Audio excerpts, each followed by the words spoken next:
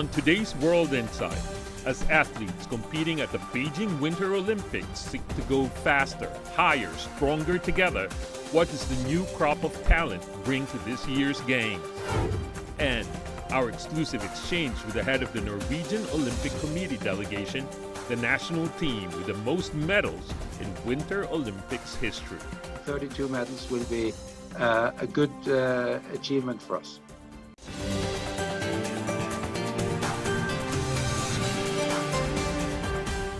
Here is our host, Tian Wei. Hello and welcome to World Insight. I'm Tian Wei. It's day four of the 2022 Beijing Winter Games, and so far we've seen a lot of bone chilling competition and history made on the ice. Athletes are certainly giving their all to carry the Olympic spirit. Viewers from all over the world are glued to the winter action. National teams from all corners of the world, big and small, have pitched in to make the games faster, higher, and stronger together. So, how to assess the athletes' performances so far? Let's loop in our panelists.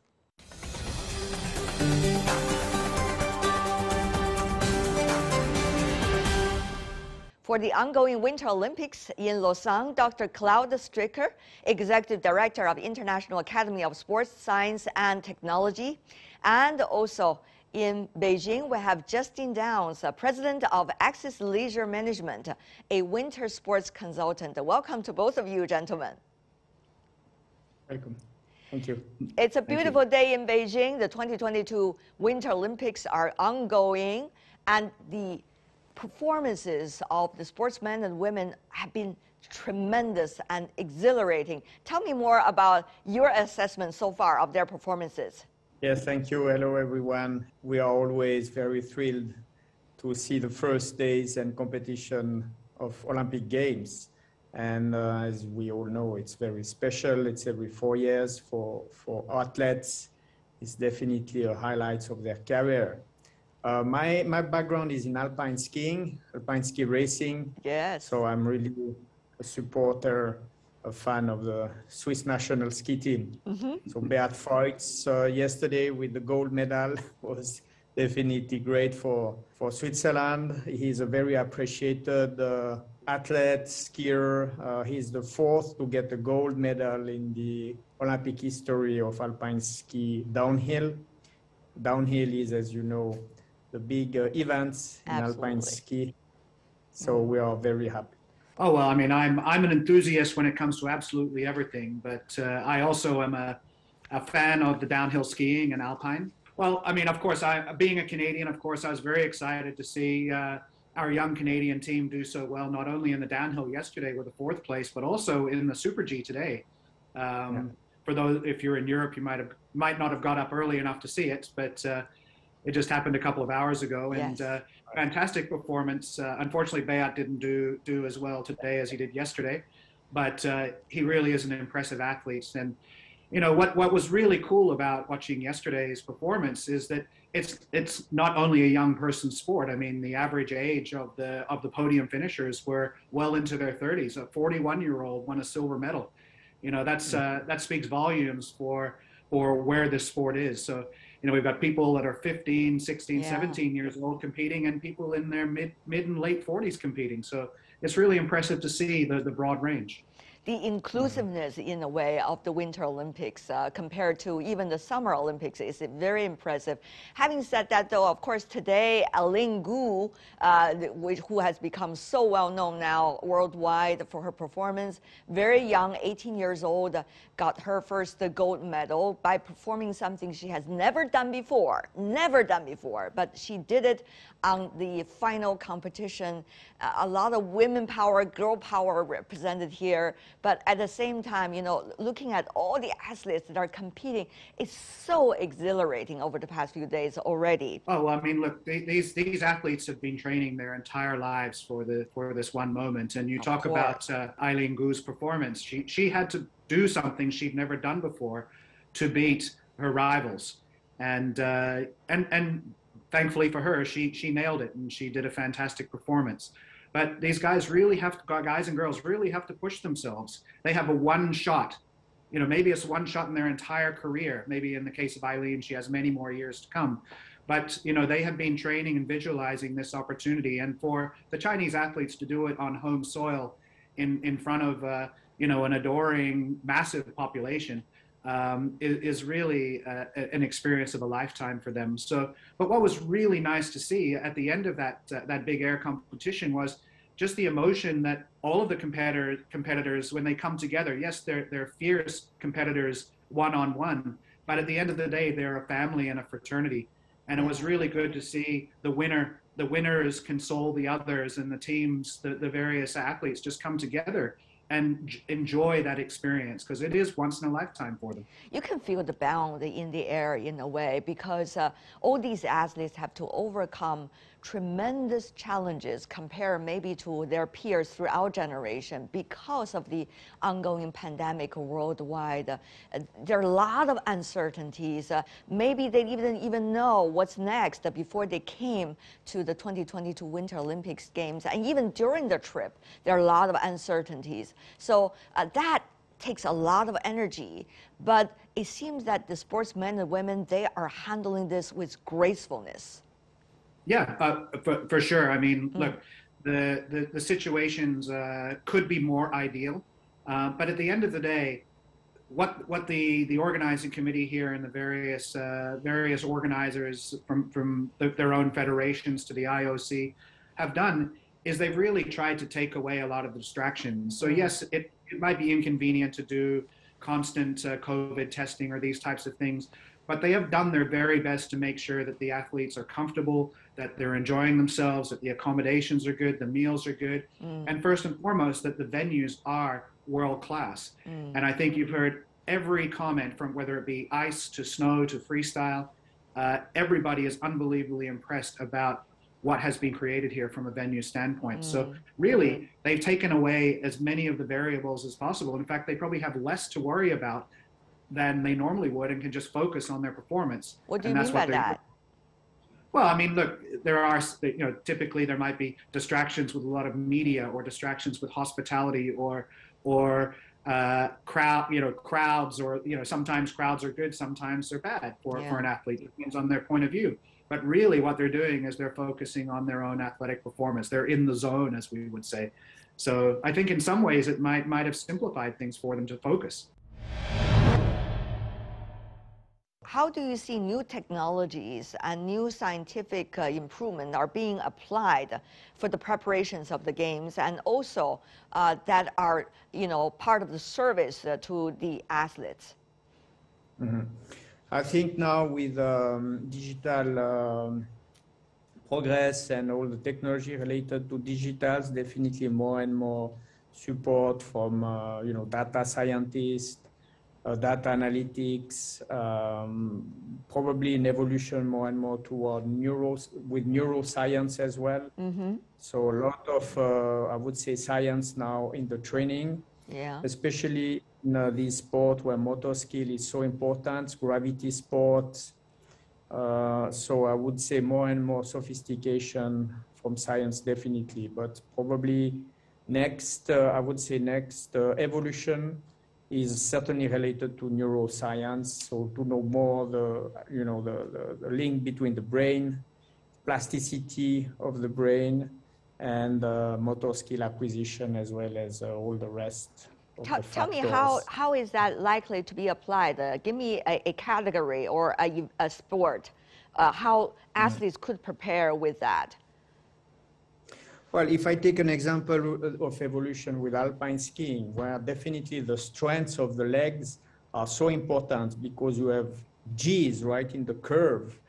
Uh, so you have those athletes with incredible uh, legs and strengths now with the, the ski technology evolution and the techniques push so hard. It's no more to have the most strengths, but to find a better coordination and control of the movement at a certain uh, certain force. So you don't train anymore by pushing so hard that you you know you can lift most weight you can, mm-hmm. but you really train at very uh, sensitive uh, zone where you get the most control of the system, ski bindings, and your corpor- corporate mm. body. So the precision and the power yes. as a result of a technological application is going to be tremendous. It's already shown here at the 2022 Beijing Olympics, by the way, already among many athletes.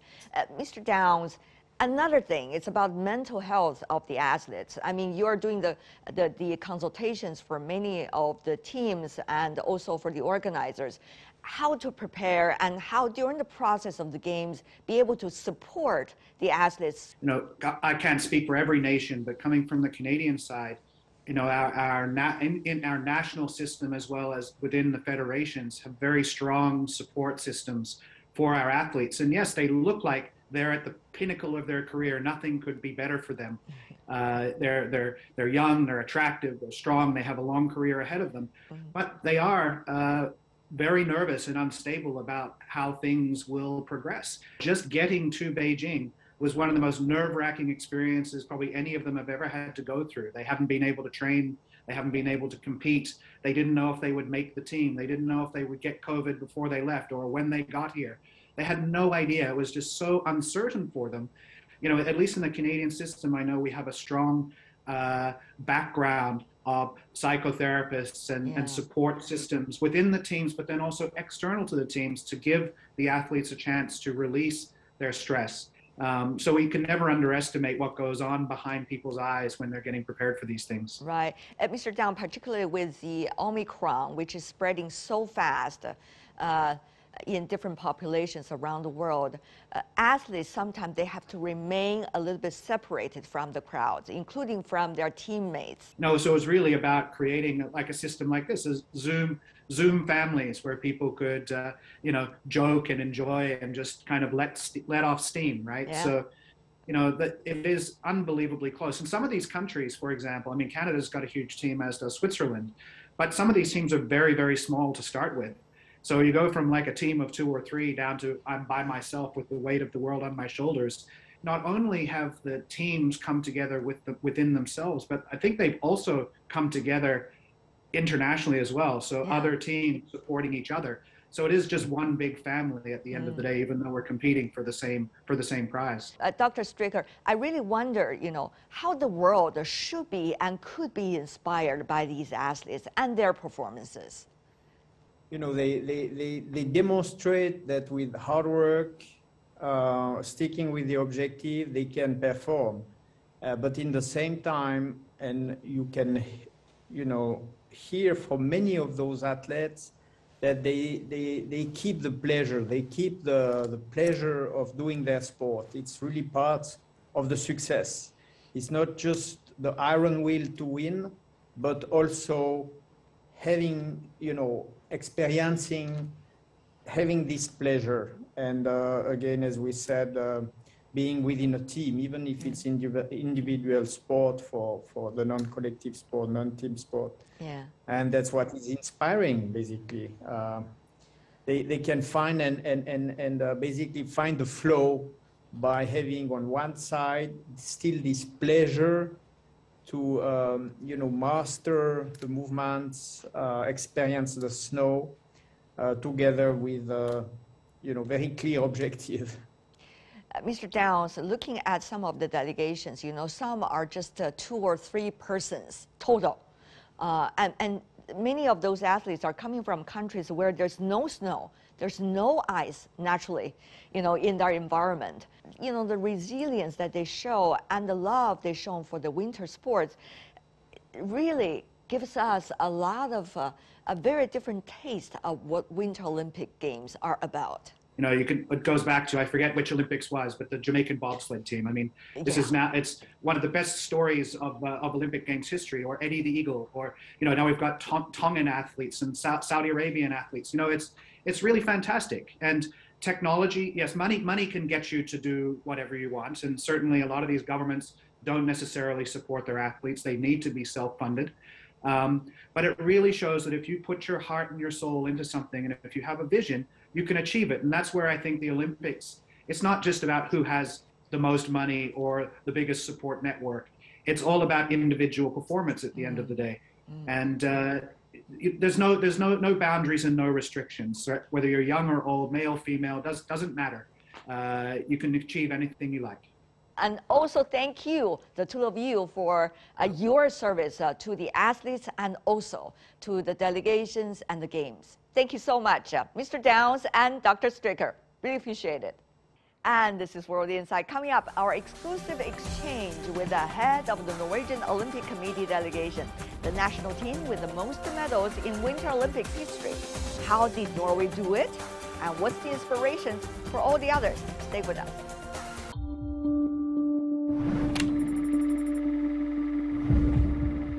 In 1924, a winter multi-sport event was held in the French commune of Chamonix. The resort area at the foot of Mont Blanc became the birthplace of the quadrennial Winter Olympics. Team China first competed at the 1980 Lake Placid Winter Games with 28 athletes and 18 events. There and then, China made her significant debut in the history of Winter Olympics. 12 years of persistence won China a first Winter Olympics medal, with Ye Qiaobo awarded a silver in 1992. A decade later, Yang Yang created history by winning China's first winter gold. From the Summer Games in 2008 to the Winter Games in 2022, Beijing is the world's first dual Olympic city. And this is just the beginning.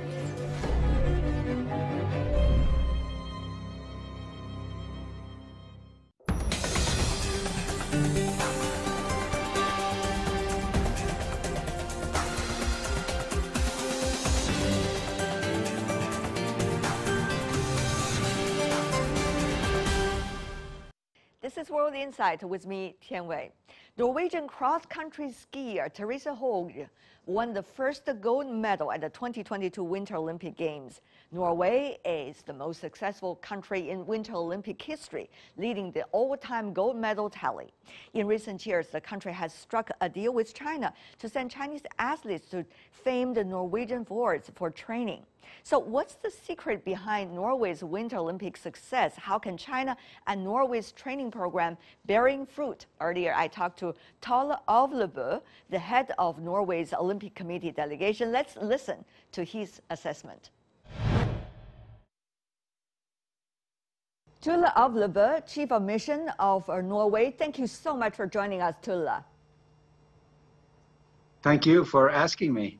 I know you've been running around between the venue and also your hotel. I'm, let me ask you about this. As Chief of Mission of Norway this time, what is your hope for Team Norway?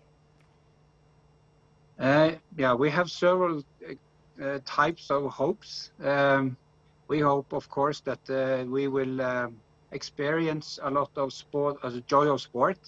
That's the most important all the time. So we have one, uh, we have different type of goals, and one of the goal is that we should be at least as good friends when we leave China as when we came here.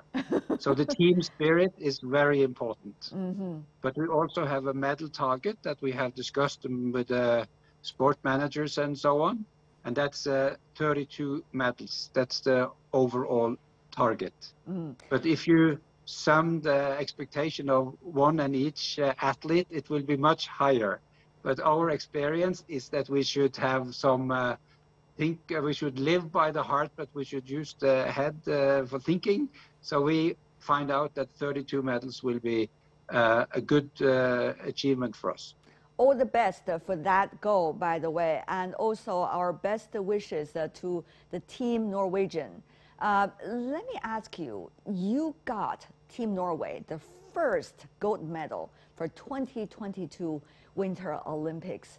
And in history, Norway is the owner, the biggest owner of gold medals of Winter Olympics ever. Tell me more about these gold medals, particularly the very first one for this year. Yeah, that was Therese Johaug who won the first one in uh, duathlon for uh, cross-country skiing. That's her first individual medal. She has uh, a couple from earlier on as part of a team, but this was our, her first, and she was very, very happy.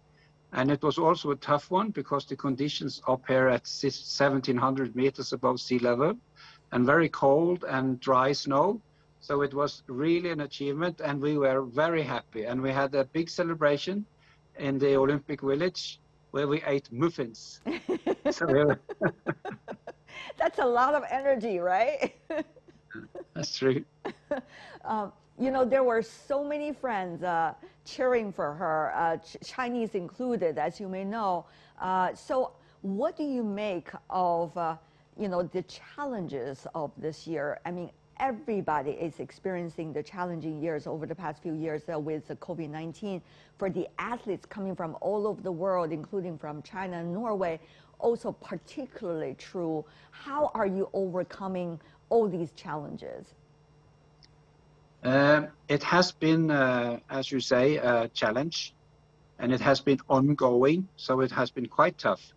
And it has created quite a bit of anxiousness because the, the number of uh, positive uh, uh COVID uh, people in Europe has, and especially in Norway, has risen a lot the last couple of weeks. Mm. So uh, it uh, became a very tense situation the last couple of weeks before we, we left Norway. Mm. The biggest challenge, though, has been to keep a focus for development of the sport and not only uh, only focus to cope with uh, different kind of restrictions uh, connected to the COVID situation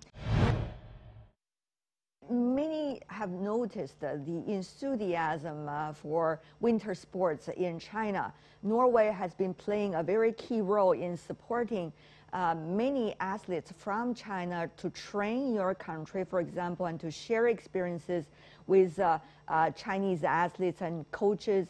Tell me more about that uh, through, through years and, and decades. Yeah, we um, we also have uh, quite a few uh, Norwegian coaches that are coaches for the the Chinese athletes. There used to be ski jumpers a couple of years ago, and there has been a lot of cross country, and also uh, biathlon has been a, a, close cooperation. And the teams, uh, the Norwegian team, find this uh, very useful, and I hope that the Chinese uh, counterpart also feel that this is this is of value. Um, so we see what will happen after these Olympics. I know that China is uh, quite uh, able to manage these things on your own when you really know the when you have the knowledge that's necessary. And I also noticed that the number of interested athletes and youngsters doing winter sports, ice and snow sports, has risen quite a lot. And also, like the result in slopestyle today with silver for China, I think that will encourage a lot of the young uh, Chinese to try out the, uh, the snowboard and the free skiing events. Mm. A lot of Chinese are very appreciative of what Norway has been doing in supporting many Chinese athletes and coaches, uh, and also to share your experiences uh, with the Chinese on the winter sport. After all, you are the giant with only a few million people, the population. You managed to get the largest number of gold medals ever in Olympic history. I mean, Winter Olympics. Many ask, is there some quote unquote secret remedies behind? Uh, this the secret is the is um, you could say it's hard work, and that's why it uh, it's kept as a secret because nobody wants to do the necessary work to really to really allow. Quite a few people will do the necessary work mm. to really uh, reach the, the summit of the sports. But uh, the truth is that we have uh, a good, very good welfare system in Norway. So very, and we have uh, lots of clubs that's doing uh, voluntary work.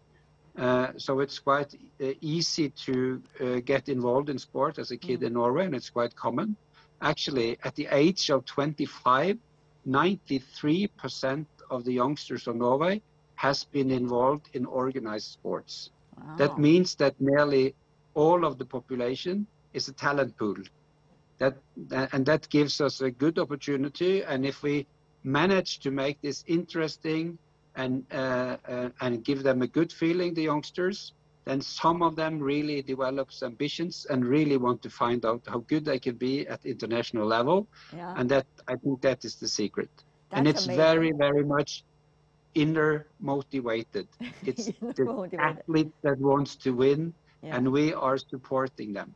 Uh, having said that, though, have you noticed the enthusiasm from the Chinese about winter sports, either as spectators, as practitioners, or as just amateurs like me?